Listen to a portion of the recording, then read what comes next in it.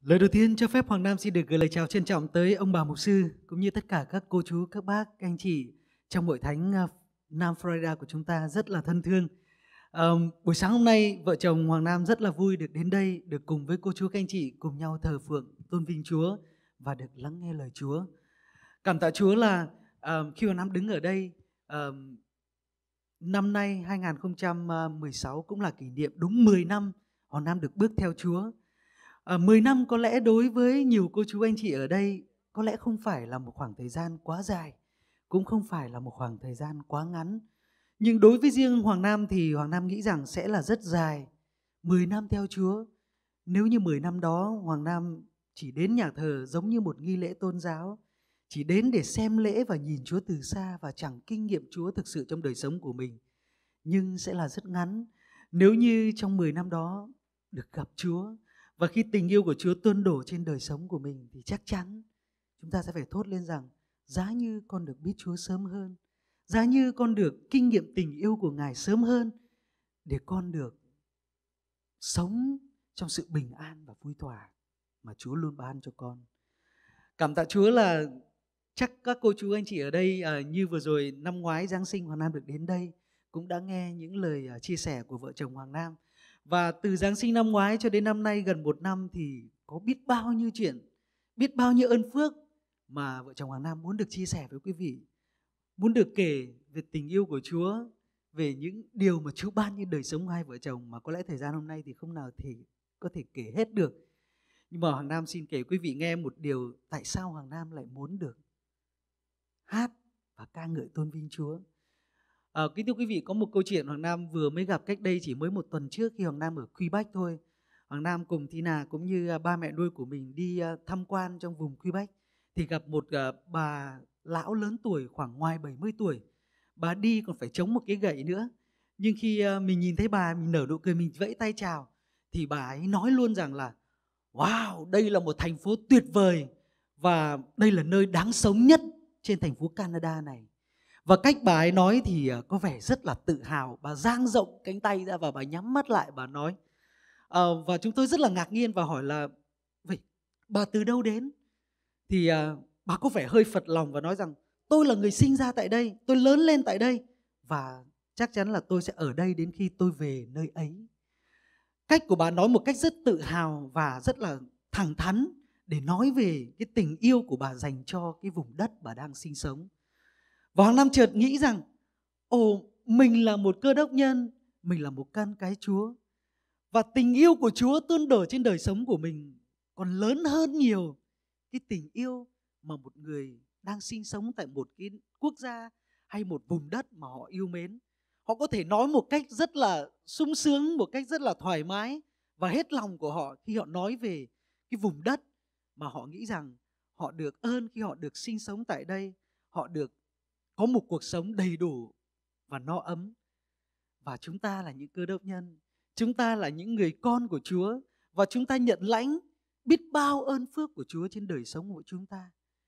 Thì chúng ta có thể nói về Chúa của chúng ta như vậy hay không? Và Hoàng Nam thì cảm tạ Chúa. Cứ mỗi khi Hoàng Nam được hát những bài hát tôn vinh Chúa và được nói về Chúa thì có thể Hoàng Nam nói đến ngày mai cũng không hết được. Bởi vì tình yêu của Chúa và những ơn phước của Ngài trên đời sống của Hoàng Nam, của vợ chồng Hoàng Nam, của gia đình Hoàng Nam quá lớn. Cảm tạ Chúa vô cùng. Và Hoàng Nam tin chắc rằng tất cả các cô chú, các anh chị ở đây, chúng ta mỗi người cũng đều có những kinh nghiệm Chúa một cách cá nhân rất là riêng. Và mỗi người chúng ta có những ơn phước mà Chúa ban trên đời sống của quý vị mà chúng ta luôn luôn muốn cảm tạ Chúa và cũng có nhiều người bạn của Hoàng Nam ở bên ngoài khi Hoàng Nam đi hát. Họ nó nói về Chúa cho họ. Họ cũng thắc mắc của Hoàng Nam rằng sao Hoàng Nam nói về Chúa nhiều thế? Và có những người bạn vào đến bây giờ đã là một người bạn à, cũng là ca sĩ và cũng là một người cơ đốc nhân rồi khi Hoàng Nam nói về Chúa cho bạn và bây giờ bạn đã tiếp nhận Chúa. Thì bạn ấy hỏi Hoàng Nam rằng là, bạn nói với Hoàng Nam rằng là, anh nói về Chúa nhiều quá, nếu từ mai mà đi chơi mà anh còn nói về Chúa nữa thì tôi sẽ không gặp anh nữa à, nhưng Hoàng Nam vẫn nói với bạn rằng là Hoàng Nam nói về Chúa cho đến khi nào bạn thực sự hiểu tình yêu của Chúa trên đời sống của bạn là thế nào thì Hoàng Nam mới thôi và cảm tạ Chúa sau nhiều ngày cầu nguyện thì người bạn đó tiếp đã tiếp nhận Chúa. Đó là điều Hoàng Nam cảm thấy rất vui mừng. Và như chúng ta vừa học trong đoạn kinh thánh mà mục sư Phiên vừa chia sẻ, Phaolô là một người rất là có tội rất lớn với Chúa. Ông bắt bớ Chúa, ông giết hại những người tín đồ, những người yêu mến Chúa phải không ạ? Nhưng mà cuối cùng tình yêu của Chúa khi tuôn đổ trên đời sống của ông thì ông đã chịu bắt phục và ông phải nói rằng trong tất cả những tội nhân thì tôi là người đứng đầu. Và Hoàng Nam cũng vậy, là một người trước đây không biết Chúa. Nhưng mà khi tình yêu của Chúa đến trên đời sống của Hoàng Nam thì Hoàng Nam muốn được dùng giọng hát của mình tôn ngợi Chúa. Và chỉ khi hát những bài hát thánh ca, Hoàng Nam mới thực sự đụng chạm ở trong lòng của mình. Và thì chỉ khi hát tôn vinh Chúa, họ Nam mới cảm nhận được rằng Chúa cho mình những ân tứ để mình có cơ hội được tôn vinh Ngài, được hầu việc Chúa. Đó là một đặc ân, phải không quý vị? Cảm tạ Chúa về điều đó. Và giờ phút này xin ờ, tất cả cô chú cùng hòa lòng với Hoàng Nam trong ờ, bài hát Tình yêu đời đời. Dù cho có bao nhiêu tài năng, bao nhiêu vinh hoa của thế gian này cũng không sánh bằng tình yêu đời đời của Ngài trên đời sống của chúng con.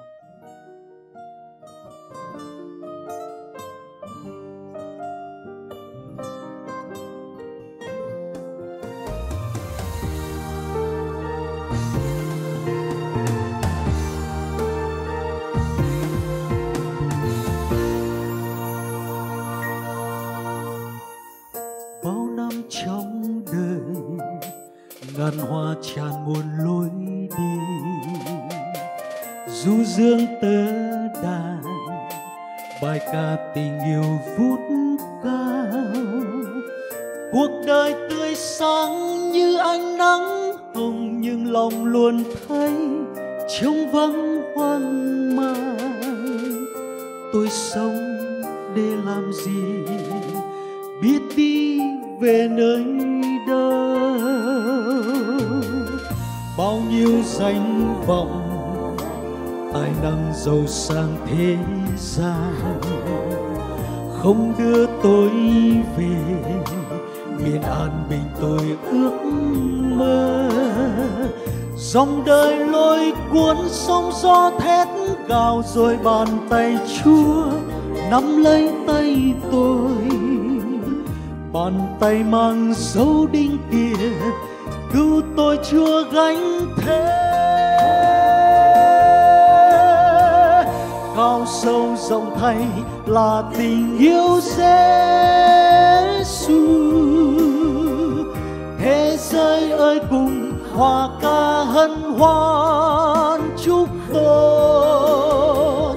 Giêsu năng quyền, ngài đem ánh sáng chiếu soi.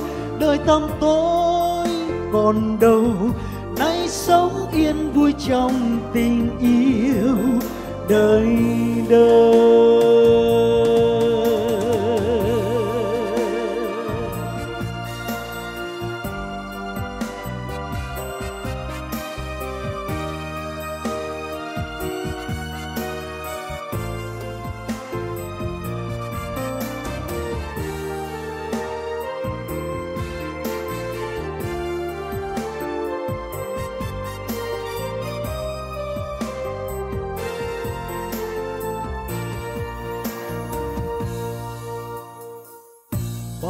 danh vọng, tài năng giàu sang thế gian. Không đưa tôi về, miền an bình tôi ước mơ. Dòng đời lôi cuốn sóng gió thét cao rồi bàn tay chúa nắm lấy tay tôi. Bàn tay mang dấu đinh kia cứu tôi chưa gánh thế. Cao sâu rộng thay là tình yêu Giêsu thế giới ơi, cùng hòa ca hân hoan chúc tôn. Giêsu năng quyền, ngài đem ánh sáng chiếu soi. Đời tâm tôi còn đâu. Nay sống yên vui trong tình yêu, đời đời. Cao sâu rộng thay là tình yêu Giêsu thế giới ơi, cùng hòa ca hân hoan chúc tôn Giêsu năng quyền, ngài đem ánh sáng chiếu soi, đời tăm tối còn đâu. Nay sống yên vui trong tình yêu, đời đời. Nay sống yên vui trong tình yêu.